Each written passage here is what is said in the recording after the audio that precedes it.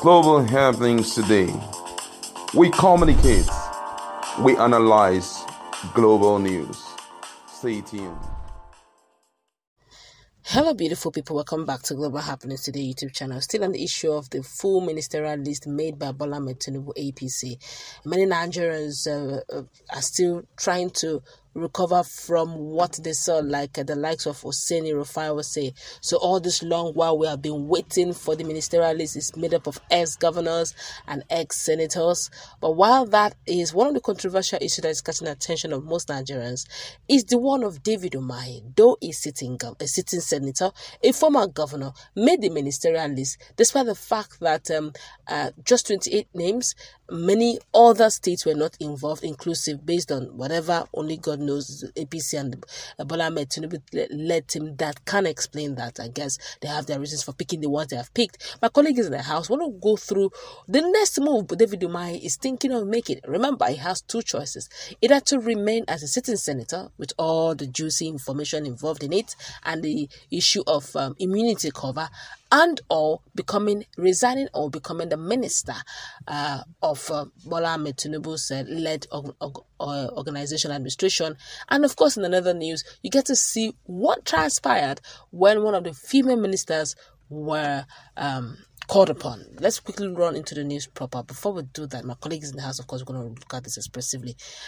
Kindly subscribe to our channel. Well, according to the news, David Umahi, who is the deputy Senate leader at the National Assembly, is getting ready to step down from his position as the senator, allegedly so. His purported resignation is due to his nomination and likely appointment as a minister in the Federal Republic of Nigeria under President Bola Ahmed Tinubu's cabinet now, Umahi, who served as the governor of Ebonyi State and represents Ebonyi South Senatorial District in the National Assembly, is a leader in the ruling All Progressive Congress (APC).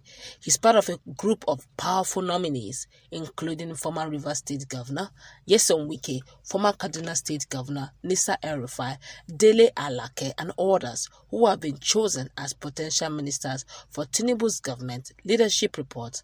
Now, to make matters interesting, Senate President Godswill Akpabio acknowledged the nominations and mentioned that more names will be sent to the Senate for consideration in the near future. Nigerians are eagerly waiting for the for the Senate confirmation process to see how the new administration's team will be formed and what roles the nominees will take on in Tinubu's government. Of course, in another news, uh, one of uh, the one of the um, now, all I think that again, all Progressive Congress APC politicians Stella Okotete has reacted to the release of President Bola Tinubu's ministerial nominees list. Report has it that Tinubu on Thursday finally submitted the list of his ministerial nominees to the Senate for screening and confirmation. In a video making rounds on online, Stella, who emerged as one of the 28 names, was captured praying and speaking in tongues after the ministerial list was released. Now, it was also reported that Honorable Stella Okotete holds a, a Bachelor of Arts degree in International Studies and a diploma from Benson Idahosa University. She also holds a diploma in, I think that again, Stella Okotete holds a Bachelor of Arts degree in International Studies and Diplomacy from Benson Idahosa University. She also has a diploma in law from the River State College of Art and Science. She also has a master degree in public administration and peace studies and conflict resolution. In her academic qualification, she has completed prestigious certificate programs like Harvard Kennedy School Certificate Program for Emerging Leaders and Entrepreneurial Management Program at the Lagos Business School.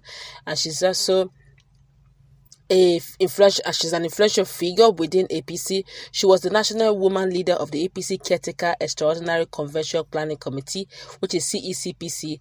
Okotete was also appointed as the executive director, business development Nexim Bank in 2017. Between 2011 and 2015, she served as the special assistant and advisor to the executive governor of Delta State on Millennium Development Goals (MDGs). Of course, there have been reactions to this, but let's quickly look at what um, transpired. David Umahi.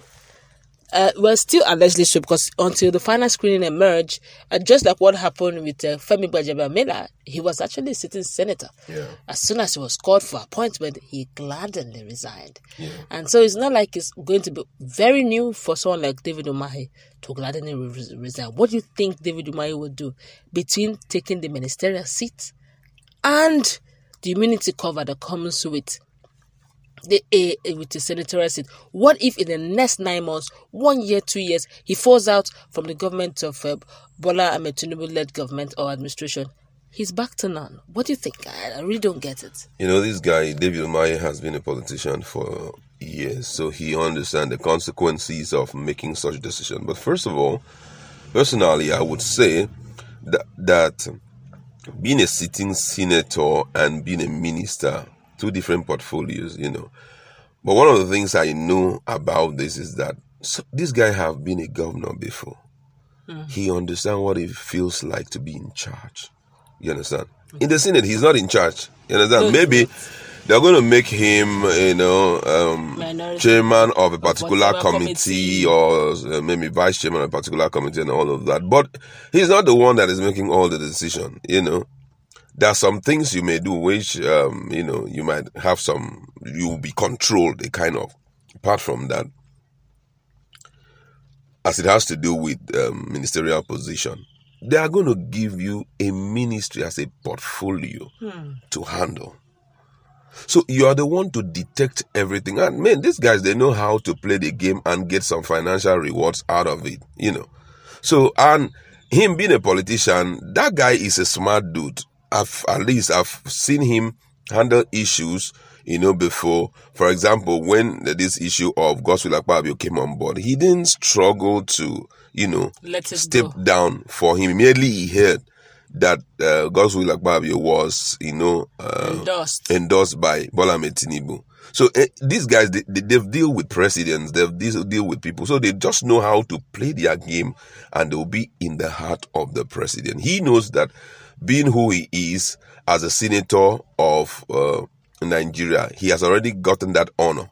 But right now, he wants to operate as a senator so that he will enjoy, uh, sorry, a minister, so that he can enjoy his stay. You understand? He can rule over things, he can make decisions, he can uh, attain executive, uh, Neck. yeah, uh, national executive meet, council meetings. Yeah, he can true. know what is really happening. As a senator, there are a lot of senators who do not know what is happening in Nigeria. I'm telling you.